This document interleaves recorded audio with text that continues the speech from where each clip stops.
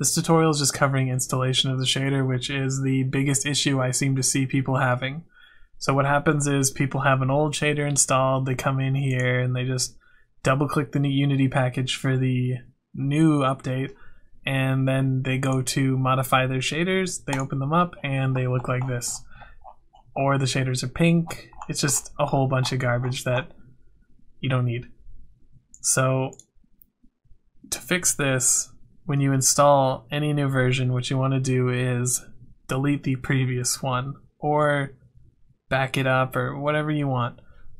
So go into your third party folder and make sure that Thry editor is deleted.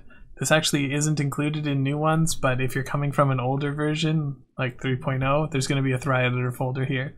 So select that, delete it, get rid of it. That's the UI folder, or used to be the UI folder. And then go to your Poiyomi Toon Shader folder and just delete the whole thing.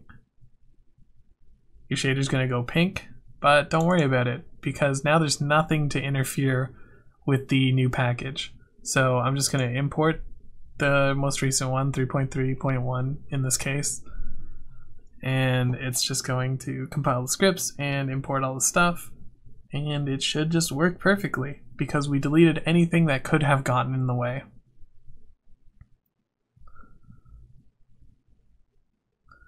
There we go. And the UI works perfectly.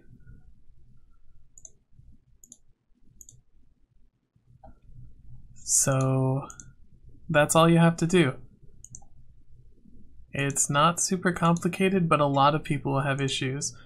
And if you do what I just did and you still have problems, feel free to join the Discord. There's a link in the description. You can ask questions.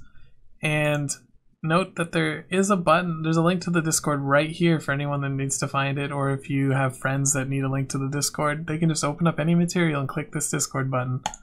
And that will just open up a page linking to the Discord.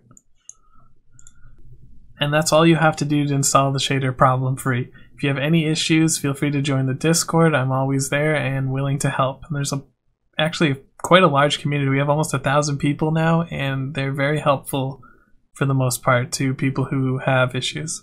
So feel free to join. Thanks for watching.